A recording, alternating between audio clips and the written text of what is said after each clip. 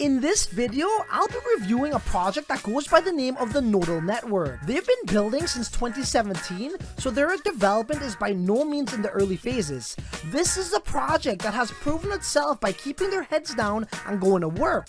They already received a Web3 grant, and as you can see here, they're in the Substrate Builders program as well. But what's even more impressive than that is, Nodle is already integrated in the Polkadot extension wallet and UI. Yeah, this is a very exciting project which will be offering decentralized IoT or Internet of Things solutions that deserves your attention. So without further ado, let's break this bad boy down. The Internet of Things. Internet of Things. The Internet of Things. The Internet of Things. The Internet of Things. The Internet of Things. So what is this Internet of Things? Hi everyone. My name is Misha Benoliel.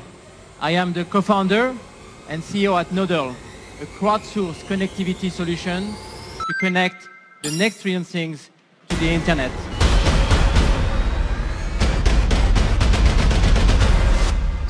It's the crypto lifestyle, baby! Welcome back to another video. If this is your first time here, my name is Francis, and on this channel, we emphasize the importance of crypto mass adoption, decentralization, and other Bitcoin related stuff that could bank us coin. So if you want to learn more, do that by subscribing and hit that bell notification button so you don't miss anything. So what exactly is the Nodle network? Well, they're in the IoT or Internet of Things global market, which is expected to grow and almost double within the next five years from 761 billion in 2020 to 1,386 billion US dollars in the year 2026. So this is a growing industry. Collecting, sending, receiving, and acting upon information or data is a huge business. As you can see here from the Nodle analytics and metrics, Nodle already has over 20 million monthly active smartphones connected to their network, experiencing a growth of roughly 38% per year, along with 25 million devices discovered per day. Oh yeah, and they have active wallets that's gone up 60x over the past year as well. But before we dissect what Nodle represents, you need to grasp the basic understanding of what the Internet of Things is. IoT technology has the capabilities to immensely change our lives in regards to how we interact with one another, especially the way we collect and send out information or making any form of data transferable and or compatible. But this mechanism is not limited to only computers, cell phones, and or human beings. We could actually connect anything you could really think of from our refrigerators all the way down to our pet dogs to the Internet of Things. Let me just give you guys a couple of examples with real world use cases of IoT devices. I'm going to use everyday example that you're more commonly familiar with from your home to make it a bit easier for you to comprehend. Today it's quite natural and normal for us to connect to the internet through our mobile devices or today we now refer to our mobile devices as smartphones where we can send emails, visit websites, shop online and even watch videos where most of you are probably watching this video right now from. But do you remember when your phone was not a smartphone and was not able to connect to the internet? It was just a device where, you know, you could probably call someone or someone could call you back and perhaps exchange text messages. Well, your smartphone is a perfect example and one of the first, if not the first use cases of the Internet of Things. However, Mr. Elon Musk, the richest man in the world, and Tesla took IoT technology to a whole new level and made the automobile not just a regular automobile anymore, it's now a software driven Internet of Things vehicle. Just like how your cell phone was linear and could only receive or send calls and or texts, the same is true with these Tesla cars. They aren't just capable of getting you from, you know, point A to point B by manually driving, but functions can be done remotely through the global wireless industry called the Internet of Things, which will allow this car to self-drive, provide data like say high definition maps, and update operating system software all on its own through IoT technology. The foundation of this brilliant tech really comes down to three functions, and that begins with number one, collecting and sending information, and then number two, receiving and acting on information, and lastly, number three, doing all of the above, collecting, sending, receiving, and acting on information. If we take the simple example of say a smart kitchen, which there is a real business behind this, but smart kitchens utilizes the IoT technology by connecting appliances. Things like stoves, kettles, sinks, etc., etc. We have a prime example of it doing all of the above. So LG, the company, has a smart fridge that can execute point number one, which is collecting and sending information to your mobile device. For example, if you accidentally left your refrigerator door open, the smart fridge will use IoT technology to send a notification or data to your phone notifying you that someone left the door open. And with smart stoves, you can execute point number two, which is receiving and acting on information. This is a digital thermometer that connects to your mobile device. It gets a calibrated temperature that reads and matches it with gourmet recommendation presets. So if you wanted to say automate your cooking, you know, a ribeye steak for example, notifications can be sent to your device indicating you when to flip that steak and nobody likes rubbery hard steak. Then we have something called Happy Fork. This example can execute point number three, which is collecting, sending, receiving, and acting on information. Believe it or not, for whatever it's worth, Happy Fork is the smart fork you need if you're trying to keep the tabs on your food intake. The utensil has sensors that will determine if you are eating and wolfing down food too fast. The fork actually vibrates and lights up signaling you to slow down.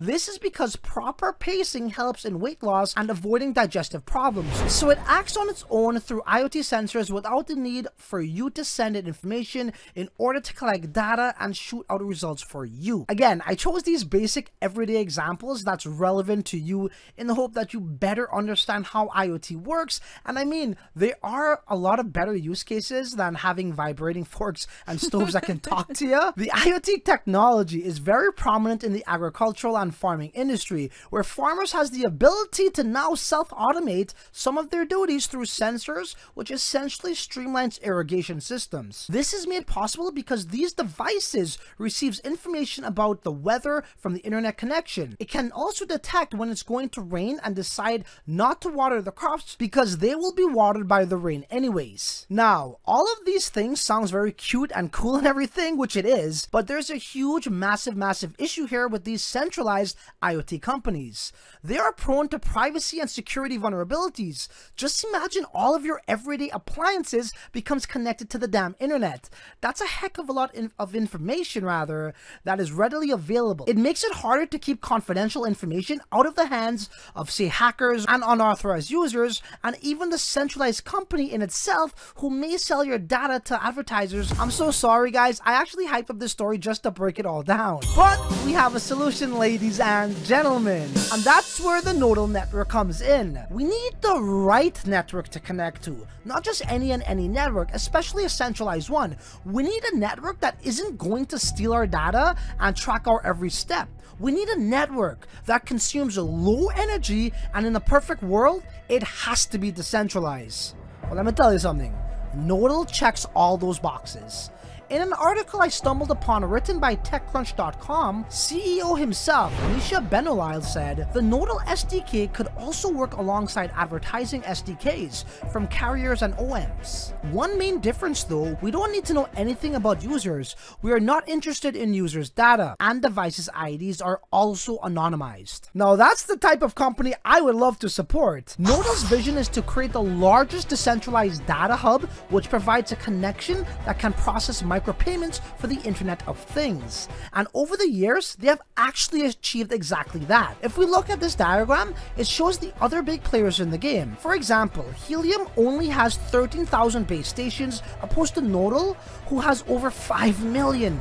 And IOTA has a complex method to process data, opposed to Nodle, which can start this process seamlessly within minutes. The list continues with the likes of say Apple, Samsung, and all the way down to Amazon Sidewalk, which requires specific and unique devices to connect, opposed to Nodle, which enables any device that's compatible with Bluetooth low energy to join the network instantly, and we all got Bluetooth on our phones now, come on. Unlike most centralized IoT networks out there that only relies on 3G, 4G, or 5G, Nodle Distributed Network is a pure software solution that deployed the use of Bluetooth Low Energy, which they refer to in the short form as BLE, which is a wireless interface that can support any wireless protocol and is also far more efficient and effective. If you want to be a contributor to the crowdsourced IoT network, you can monetize your connectivity and all contributors will be rewarded for participating within the network, which we will get into in about a minute. But one of the things I love the most about the Nodle network is,